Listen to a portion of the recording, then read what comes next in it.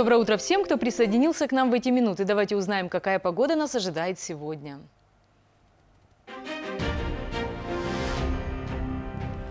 Карачаево-Черкесии переменная облачность, местами кратковременный дождь с грозой. Во второй половине ночи и днем в отдельных районах сильный дождь в сочетании с грозой, градом и шквалистым ветром до 23 метров в секунду.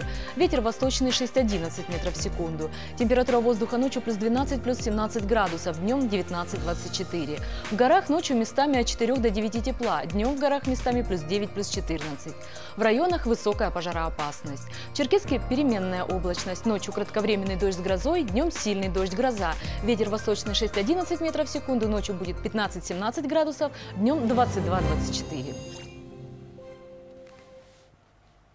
В этом году свой 60-летний юбилей отметил наш коллега, радиожурналист, ведущий программ на нагайском языке Хусин Айбазов. С юбиляром встретился Али Баташев эфирде республикалық радиодың ноғай бөлігі күн яқшы болсын бәлі юлдаслар заман сөйле 13 сәт 10 дақиқа басылаймыз бізім юртта деп аталған радио беруімізді Только текст радиопрограммы, твой голос и микрофон, через который производится запись.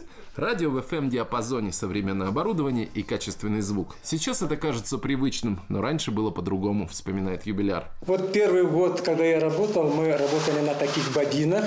это, конечно, неудобно. На такой бобине можно было записать 20-25 минут. Сейчас уже современная техника, э, конкретные маленькие портативные у нас диктофоны. Конечно, есть ряд удобств. Хусейн Абазов работает на радио с 2003 года. Он радиожурналист и ведущий программ на нагайском языке, таких как «Эхо войны», «А зори здесь тихие», «За ланью охотятся утром», «Маметекей», «Радуга» и многих других. Профессионал. Он очень хорошо знает свою работу и, э, самое главное, он любит ее.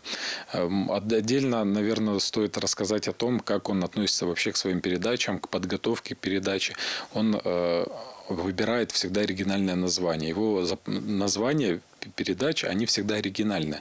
То есть одинаковых или похожих вы никогда не найдете. Это тоже вот часть работы, которая вот у Хусейна Якубовича, она а, какая-то своеобразная, она своя. Он привык к тому, что каждой передаче нужно отнестись очень серьезно. Он долго готовится, подбирает название, подбирает музыка, музыкальное оформление, а, текст, респондентов. Они всегда интересны, и я думаю, что радиослушатели тоже всегда с нетерпением ждут передачи Хусейна Якубовича. А еще Хусейн Абазов старается внести в передачу изюминку, особенно если она предназначена детской аудитории. Каждый герой говорит своим голосом, но всех персонажей озвучивает автор. К примеру, чтобы создать впечатление об оккупации, сам записывает реплики фашистов, накладывает лай овчарок и получается оригинально.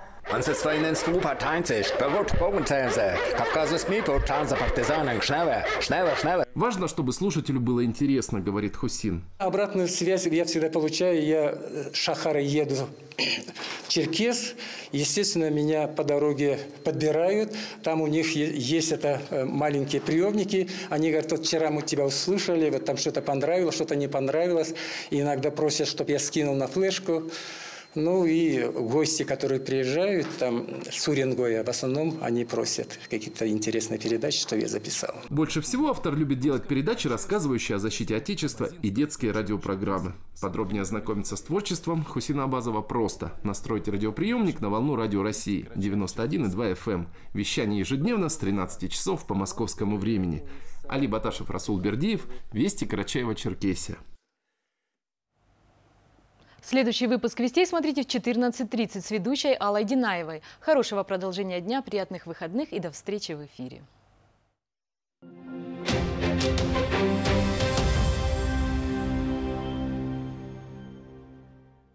Продаются полнорационные комбикорма для всех видов птицы, а также молодняк уток разных пород. По вашему заказу изготовим любые корма для других видов животных. Плем-репродуктор Зеленчукский. Телефон 8, код 87 878 5 45 70 и 8 925 711 98 90. Пятигорский государственный университет предлагает уникальную возможность получения качественного высшего и среднего профессионального образования дистанционно, в том числе одновременно с обучением в любых вузах страны и мира. Прием документов до 26 августа онлайн на сайте университета. Поступай правильно. Поступай в ПГУ. Thank you.